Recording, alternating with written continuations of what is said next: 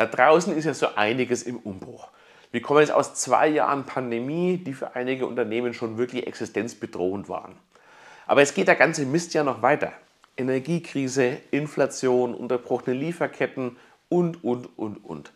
Welche Lösungen es für diese Herausforderungen gibt und warum genau jetzt der richtige Zeitpunkt ist, diese Herausforderungen anzunehmen und wirklich heranzugehen, das verrate ich in diesem Video. Ich grüße Sie. Mein Name ist Axel Schröder und ich beschäftige mich seit rund 25 Jahren mit der Optimierung von Unternehmen. Und sind wir mal ehrlich, die letzten 10 bis 15 Jahre lief es doch eigentlich ganz gut. Handwerksbetriebe hatten volle Auftragsbücher ohne jeglichen Vertriebsprozess. Denn der Kunde ist ja froh, überhaupt einen Handwerker zu finden. Und auch die Preisgestaltung war ja einfach. Bauchgefühl plus 30 Prozent, dann bleibt sicher was hängen.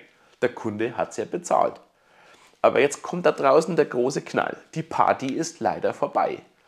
Durch die Zinserhöhungen bei den Krediten und die Inflation können sich die Verbraucher einfach weniger leisten. Das Geld sitzt nicht mehr so locker. Und die Bauindustrie spürt es bereits ganz deutlich. Also mit der Bauindustrie auch die ganze baunahe Handwerkerschaft. Die Aufträge reichen jetzt sicherlich noch ein paar Wochen, aber dann wird es schon deutlich dünner. Ich habe also mit vielen Dachdeckerbetrieben und so weiter gesprochen gehabt die haben das schon wirklich deutlich gespürt, dass die Auftragsbücher nicht mehr so dick sind, wie sie schon mal waren. Dazu kommt eine ganze Reihe von weiteren äh, Unternehmen, die auf einmal unter die Anwendung von blöden Gesetzen fallen. Zum Beispiel das Lieferkettengesetz oder genauer das Lieferketten-Sorgfaltspflichtengesetz. Das ist eigentlich ein Gesetz, was den Sinn hat, dass wir prekäre Arbeitsverhältnisse in bestimmten Ländern genau unter die Lupe nehmen und das ähm, Unternehmen Sorge dafür tragen, dass in ihren Lieferketten Mindeststandards an ein menschliches Leben und Arbeiten eingehalten werden. Und das, was vorher nur für ganz große Unternehmen galt und den Sinn hat, wirklich diese menschenverachtenden Arbeitsbedingungen zu unterbinden, wird jetzt schrittweise abgesenkt. Also ab dem 01.01.2023 gilt es für Unternehmen mit mehr als 3000 Mitarbeitern. Aber ab dem 01.01.2024 schon für Unternehmen mit mehr als 1000 Mitarbeitern. Und glauben Sie ja nicht, dass es dabei bleibt. Es wird schrittweise abgesenkt, bis nahezu der gesamte Mittelstand diesem Lieferketten-Sorgfaltspflichtengesetz unterworfen ist. Und damit haben auch Sie als Unternehmer weitere Pflichten, die muss ja jemand schließlich bearbeiten. Man muss sich diese gesamte Lieferkette wirklich anschauen, das dokumentieren und nachweisen, dass dort auch entsprechend alles in Ordnung ist.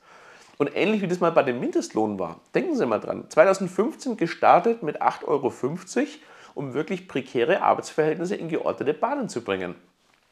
Ab dem 1.4.2023 liegt er bereits bei 13 Euro.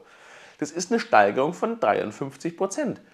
Ob auch die entsprechende Produktivität und die Wertschöpfung um 53 Prozent wirklich gestiegen ist, das müssen Sie sich selbst überlegen.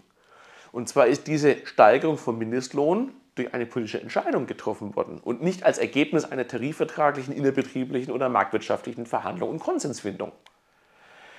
Die Versorgung mit Material und Zulieferteilen wurde ebenfalls schwieriger. Hat man vor der Pandemie bei seinem Großhändler angerufen, konnte man sicher sein, dass das gewünschte Material relativ schnell bei Ihnen im Werk oder im Betrieb war. Und heute gibt es aber halt oft ein Schulterzucken und äh, ja, äh, dauert vielleicht in sechs Wochen oder vielleicht aber auch erst in einem Jahr. Wenn Sie an bestimmte Fahrzeuge denken, dauert es bis zu einem Jahr, bis die liefert werden. Also, sind wir uns einig, die Zeiten für Unternehmen werden rauer. Und das sind aber alles Faktoren in Ihrer unternehmerischen Umwelt. Die können Sie ja nur bedingt beeinflussen. Aber was Sie beeinflussen können, ist die Art und Weise, wie man auf diese äh, Änderungen entsprechend reagiert.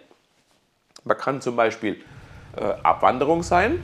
Ich kenne genügend Unternehmer aus dem Mittelstand, die einfach sagen, hey, ich habe keinen Bock mehr, die sperren den Laden zu und gehen ins Ausland. Weil sie einfach keine Lust mehr haben, dass sie ständig irgendwo gegängelt werden von irgendwelchen Entscheidungen, ähm, die sie betreffen, aber die sie niemals äh, mitentschieden haben. Wenn Sie aber jetzt hier familiäre oder andere Verpflichtungen haben und eben nicht einfach zusperren wollen oder können oder abwandern wollen, dann müssen Sie wohl oder übel auf diese Krise ja irgendwie reagieren. Ich bin ja selber Unternehmer und deswegen habe ich mich entschieden, mit verstärktem Prozessmanagement auf diese Veränderungen zu reagieren. Also wirklich systematisch zu hinterfragen, wie ich meine betrieblichen Abläufe so gestalten kann, dass die Arbeit leicht von der Hand geht. Damit weniger für die Katz gearbeitet wird. Damit die Zeit wirklich produktiv genutzt wird.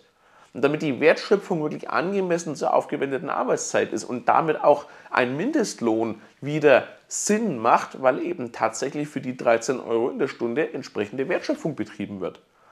Und wenn da draußen in der Umwelt schon das völlige Chaos losbricht, dann will ich doch wenigstens Ruhe in meinem eigenen Unternehmen haben. Also Prozesse, die funktionieren, ohne ständige Rückfragen oder irgendeinem ständigen Hinterherrennen, ohne diese ständigen Feuerwehr- und Löscheinsätze, weil wieder irgendwas schief lief.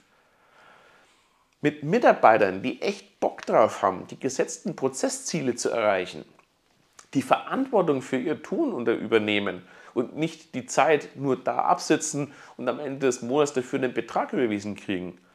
So organisiere ich mir das mit klaren Prozessen. Weil wenn nicht jetzt, ja wann denn dann?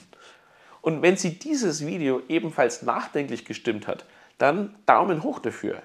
Und wenn Sie ebenfalls Prozessmanagement wirklich einführen wollen und damit durchstarten wollen, dann abonnieren Sie den Kanal. Wir sehen uns im nächsten Video.